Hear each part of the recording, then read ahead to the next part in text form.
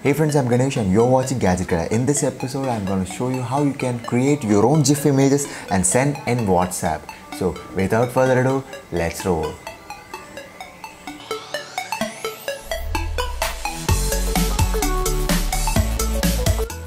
For more such videos, subscribe to Gadget Kada, press the subscribe button and then press the bell icon to get all our notifications. Okay guys, so first at, at first what I'll have to do is I'll have to make my own GIF. So as you can see this is scene, we're this car and that's gonna be my GIF. Take your camera and then make a video. So let's start recording.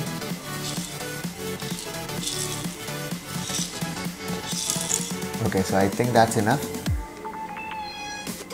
Okay, now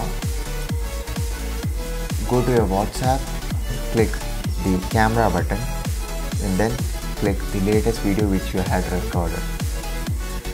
So as you can see if this here from here you cannot send it as a GIF. Instead of this what you'll have to do is you'll have to click attachments then click gallery and then click the media which you had okay here from here only you can send it as GIF all you have to do is reduce the time so this is a 7 second video. As you can see as I reduce so I'll reduce from here so you can see this part. So this is a video okay? So I'll reduce. As you can see as the video size got reduced you might have seen any symbol. Which says GIF.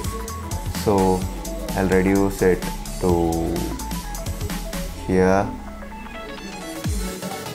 then click the GIF button so as you can see this has become a GIF now reduce it